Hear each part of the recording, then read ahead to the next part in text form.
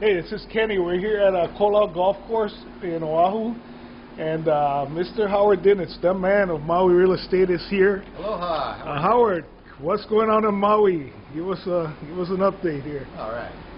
Maui inventory levels are going down. Prices seem to be going up. Now is the time to buy. Call me, Howard Dinits, your realtor. 808-874-0600. Aloha. There you go, right from the horse's mouth. Any real estate on Maui, please call Howard. He's the guy. Aloha, God bless.